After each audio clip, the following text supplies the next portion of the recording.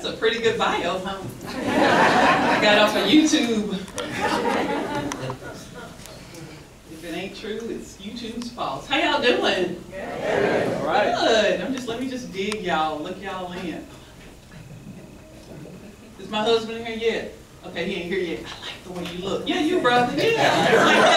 He's like, who? I ain't hitting on you. I'm just telling you that. I got my husband's friends right on the back. See those three people right there? They gonna tell everything I say. Lord, let me tell you what your wife and this one right here will tell what they don't. So don't worry about it. I'm just saying, you just have a good look. It's, just beauty. That's all.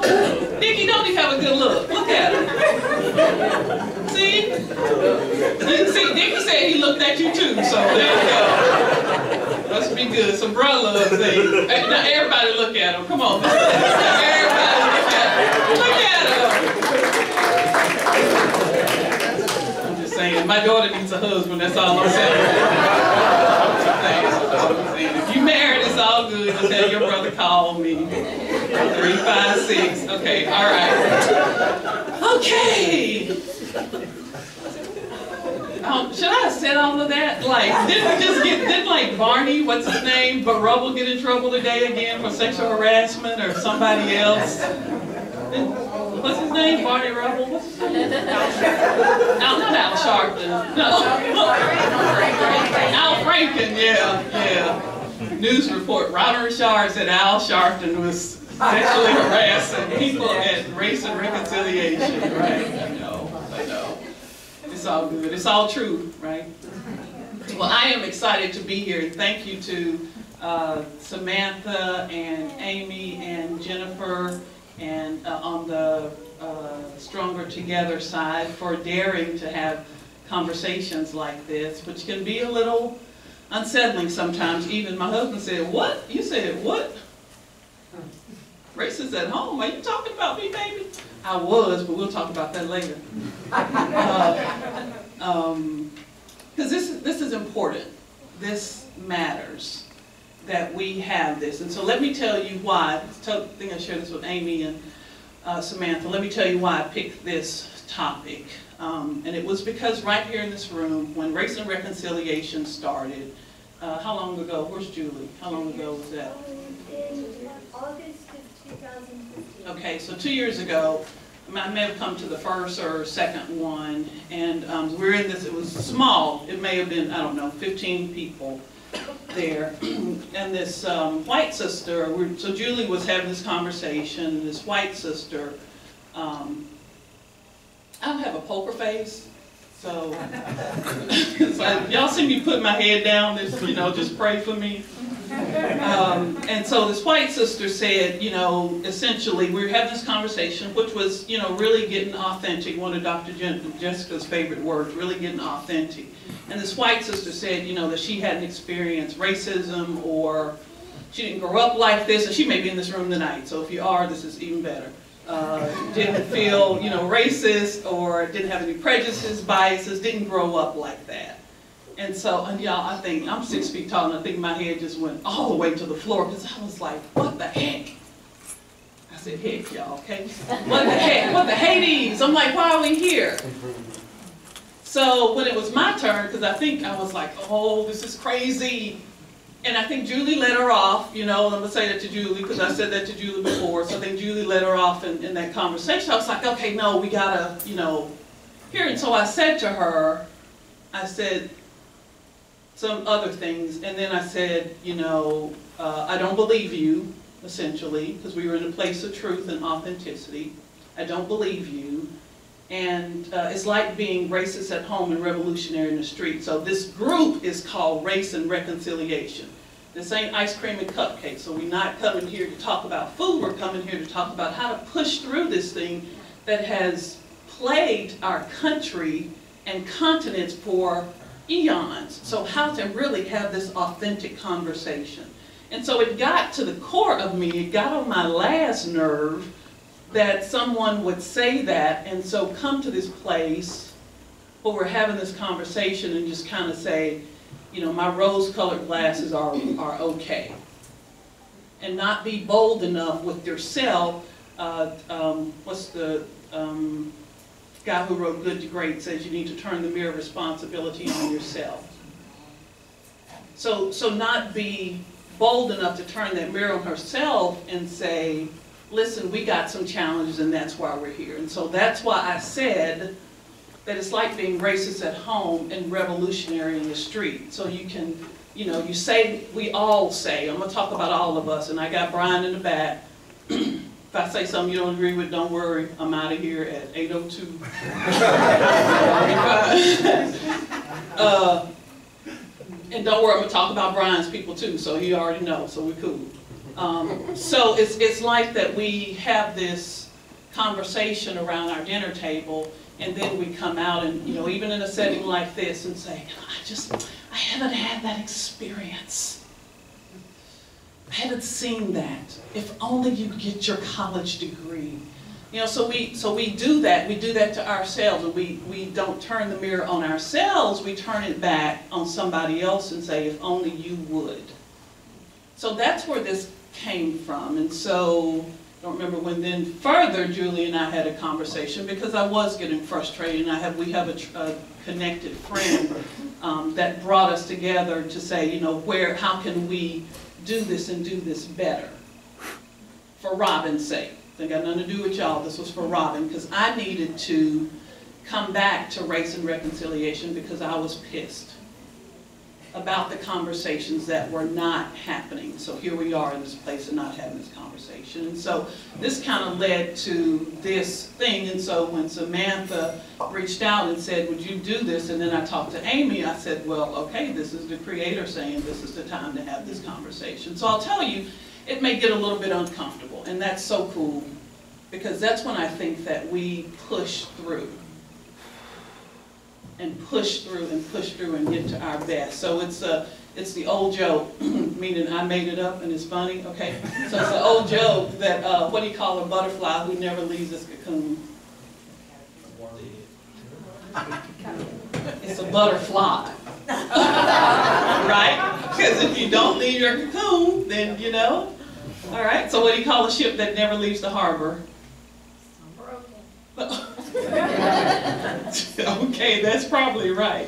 A museum, that's not what ships are built for, right? So you have to push through. So even those high waves or that uncomfortableness getting out of your cocoon, you have to push through. And that's what I just want to challenge us, each of us to do, is to hold that mirror. Jim Collins, that's who wrote that book, Good to Great. Hold that mirror up to ourselves and push through. And if you don't like what you're looking, what you're, what's looking back at you, go get another mirror. I mean, you can spend your money all day long saying it's, it's the mirror, right? Right? All right, so, is everybody good with that? Is that sister here? I know she the spot. I'm kidding. I don't even know who it was. It doesn't matter. That conversation was for me. Oh, that's my smart, fine husband. Hey, baby. Y'all say hi. I was talking to, I was trying to get, see the, the dude on the end here, baby? I was trying to get him for Natalie, but I don't know if he married or not. See, that's, I'm saying that could have been our son-in-law, baby. That's all I'm saying. I'm just saying. Okay, so Julie, will you get the light here?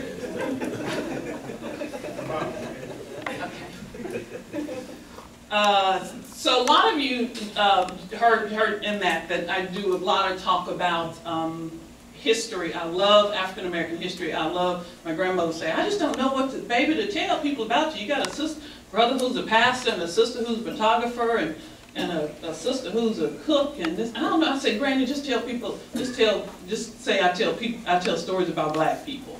Just you know, and most of them are true. So that's what I do. I tell stories about black people, and most of them are true. So this, um, I like Pensacola, and I love uh, my office and my work, uh, and some future work that I'll talk about is in Belmont de Villiers. And the story of uh, Belmont de Villiers, it has been absolutely amazing. Um, and so since I've been in Pensacola, um, let, let me back up. Uh, so th this is where I do my work. And what I like doing based on the way I was brought up, uh, my family values, education, and all of that is ensuring that there's diversity in issues, ideas, and individuals. And so Belmont de Villiers does that for me in my work. and in my heart. So it's, it's this um, amazing place. And in Pensacola, so this is all of, of Pensacola, let me see. Yay. So, so lately with the diversity of issues, individuals, and ideas, I've been adding images. So the last, um, since about 2012, started really doing some intensive work on Belmont de particularly the um, mid-19th century up until the mid-20th century. I've been kind of stopping about the 1940s, 1950s. Um, and so what I see a lot of is what I see a lot of today, although I would say in the last few years it's changing, not as fast as Robin would like it, but it is, it- and not as fast as it needs to, period. So, but we, you know, so images, so when you see, this is the 1940s guidebook uh, to Pensacola, and I dare say that a lot of the, what you see then is a lot of the same images that you see today, people being really happy, um, and doing things and engaging, and they don't look like what Pensacola looks like. But they look happy, and this is what we do. And a lot of people say, well, Robin, that was then, that was 1940. And so I wonder what people are gonna say in 2000, I don't know, 3017. Anybody else besides me gonna be here? I just I just had some wheatgrass, so I'm trying to live. Uh, That really is, well, it ain't marijuana, I spilled it on myself, that really is what's on my dress, wheatgrass. Um, So I wonder if they're gonna say that same thing about us, you know, when they look back at our history. And saying, well, that was then, you know, that they didn't have it. The same thing that we're saying there, that they're kind of giving this excuse. Let's see here. And so this is Belmont de Villiers on this 1896 map. This is Belmont de Villiers, and you can see where it is um, growing back from that 1885 map. Uh, And this is Belmont, this is the, the, what we call the block. So how many of you been to um, Blue Dot? Yeah, keep your hand up. I'm just gonna do a mental snapshot for Byron. Okay, put your hand down. Let me do one for Nisi. Okay, how many y'all have been to, uh, oh, you already, the dwarf, already got my chicken people raising their hand. Bev and, Bev and all them raising their hand, all right? All right, those are our two oldest restaurants there. Uh, over, let's see here, the dwarf fifty years old, the Blue Dot sixty-something years old. They're in like their second location there.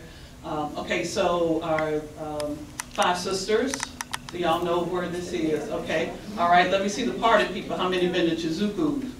Uh-huh, I'm taking names, uh-huh. All right, they'll open up till we go to bed, so I know y'all, okay. So this is, this is Belmont de Villiers. And so, uh, it's a little bit closer. So, uh, when I started delving into it, I started looking at how we look at images and what those images say. So when we put out information, we're still a very visual society, so when we put out information, that is what stays in people's minds. So you may remember, what's the other thing, you may remember what I say, but you're really gonna remember what I do, and that's that visual representation of my words are gonna stay in your mind. And so, um, so, uh, let me, I'm gonna go past this real quick here. So,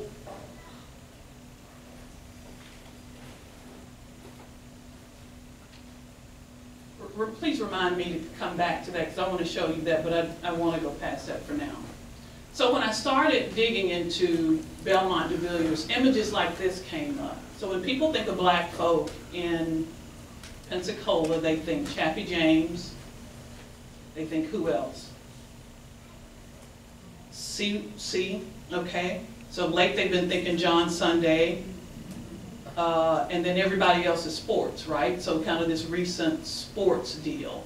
And so there are so many amazing people um, who have made the way that if we don't consider this visual conversation, then the conversations that go on at the dinner table will continue to go on at the dinner table if you don't have uh, the knowledge. And Malcolm X said, if you don't come into the full knowledge. Well, This is a fun one here, and let me just point this one out here. This is Joe Moore's funeral home in 1938. Some of you may have seen, especially because a lot of these are from UWF archives uh, in, in 1938, which is some brothers standing there in front of their car say sharp two. You can't see it on the deal. This is John Sunday, a lot of you may know him from the house that got destroyed uh, there. And this is my other husband, Dan, DJ Cunningham, Daniel Cunningham. He died before Denzel, my other husband, was born. Uh, That's, that's him. I was just afraid to meet him because I know he's gonna be like five feet, you know, down here. Okay, baby, I'm gonna go. My baby's saying, just keep going. So, so when we don't have the conversation about image, then we miss out on things like this. Businesses that uh, dot uh, the surface here that help to make Pensacola what it, what it is, including, um, this is uh, Dr. E. St. Clair Thomas. If you're familiar with Jack and Jill, his niece is the one, Marion Stubbs. Marion Stubbs Thomas is the one who, uh, uh, one of the co-founders of Jack and Jill. So he was a podiatrist uh, right here. And when they tried to run folks off, African Americans off of um, Palafox Street, he stayed, and Sam Charles stayed. Sam Charles also had a, a, a shoe place which he turned over to his son on North the Village, but he, uh, those were two African Americans who stayed down there. I'd love to ask them why uh, and how they, how that, that happened. Um, uh, Mosquito, uh, Dr. James Popenhorn, a lot of you may know that went to FAMU Popenhorn Village. Uh, this is his father here who discovered Westwell lotion. Gulf Cleaners, um, the, uh, uh, Lord, I just forgot the name of the pharmacy. Jones Pharmacy here, DJ Cunningham's. Um, anyway, uh, businesses that, that we miss. We end up missing the military conversation. Uh, like the Florida Guards, who in 1900 were one of the precursors to the National Guards. Uh, uh, we end up missing folks here like World War II uh, veterans, um, who the U.S. the colored USO was right in Belmont de Villiers area. Um, we end up missing this. This was in 1916 when the when they went after Pancho Villa, Pan, Pancho Villa. Um, uh, um, the 10th Cavalry, who we know as the Buffalo Soldiers, they had a